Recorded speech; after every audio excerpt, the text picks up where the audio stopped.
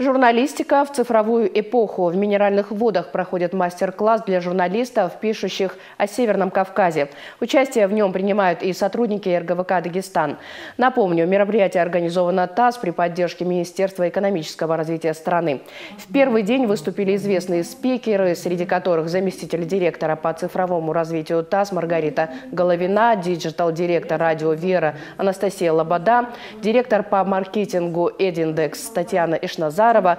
Впереди выступления юрисконсультов по вопросам управления СМИ, рекламы и деятельности в сети интернет, информагентства ТАСС Варвары Кузнецовой и Анны Лаптиакру, а также заместителя главного редактора радио «Комсомольская правда» Дмитрия Белецкого.